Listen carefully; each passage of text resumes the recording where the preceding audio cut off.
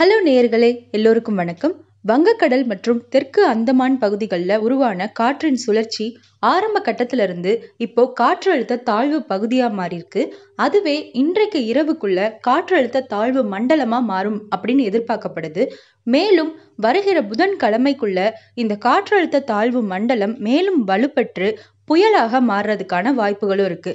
மேலும் இந்த புயலுக்கு புரேவி அப்படின்ற பெயரும் இடப்பட உள்ளது. வங்கக்கடல்ல உருவாக இருக்க இந்த புயல் மேலும் மேற்கு மற்றும் வடமேற்கு திசையை நோக்கி நகர்ந்து தமிழகத்தில் உள்ள தெற்கில் உள்ள மாவட்டங்களை பாதிக்கிறதுக்கான வாய்ப்புகள் இருக்கு. நம்மளுடைய தமிழ்நாட்டை போலவே இன்னும் ஒரு மாநிலமும் இந்த புயலினால சேதமடைகிறதுக்கான வாய்ப்புகள் இருக்கு. அந்த மாநிலம் கேரளா. மேலும் இந்த புரேவி புயல் ராமேஸ்வரம் மாவட்டத்தை சுற்றியுள்ள கடலோர பகுதிகளை கரை கடந்து செல்லும் அப்படின்னு எதிர்பார்க்கப்படுது. ஏற்கனவே ஓகே மற்றும் கஜா புயலினால் சேதமடைந்த கேரளா இப்போ வரப்போற புரேவி புயலுக்கான முன்னெச்சரிக்கை நடவடிக்கைகளையும் எடுக்க ஆரம்பிச்சிருக்காங்க. மேலும் நிறைய நிவாரண முகாம்களையும் அமைக்க ஆரம்பிச்சிருக்காங்க மக்களுக்காக. திருவனந்தபுரத்தில் உள்ள இந்தியன் மெட்ரியாலஜிக்கல் டிபார்ட்மெண்ட்டினுடைய டைரக்டரான கே சந்தோஷ் அவர்கள் இந்த புயல் தொடர்பாக என்ன சொல்லியிருக்காங்கன்னா இந்த புயல் இப்போ ஆரம்ப கட்டத்தில் இருக்கிறதுனால இந்த புயலினுடைய பாதையை இப்போ கணிக்க முடியாது.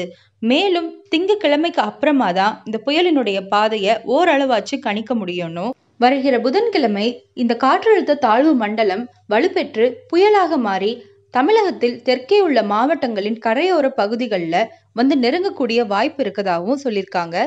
இந்த புயலின் காரணமாக நாளைக்கு தமிழகத்தில் உள்ள சில பகுதிகளில் கனமழை முதல் மிக கனமழை பெய்யறதுக்கான வாய்ப்பு இருக்கு.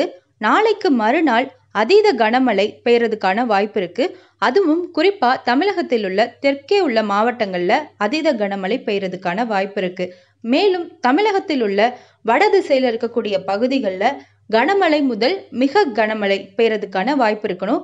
நம்மளுடைய சென்னை வானிலை அறிக்கை மையம் சொல்லியிருக்காங்க. கூடவே இந்த காற்றழுத்த தாழ்வு மண்டலம் உருவாகிறதுக்கான வாய்ப்பு இருக்கிறதுனால தமிழகம் மற்றும் கேரளாவிற்கு ரெட் அலர்ட் கொடுக்கப்பட்டிருக்கு. வங்கக்கடல் மற்றும் தெற்கு அந்தமான் பகுதிகளில் காற்றினுடைய சுழற்சி மற்றும் கடலினுடைய சீற்றம் அதிகமாக இருக்கிறதுனால மீனவர்கள் கடலுக்கு மீன் பிடிக்க செல்ல வேண்டாம் அப்படின்னு நம்மளுடைய சென்னை வானிலை அறிக்கை மையம் அறிவுரை கூறியிருக்காங்க.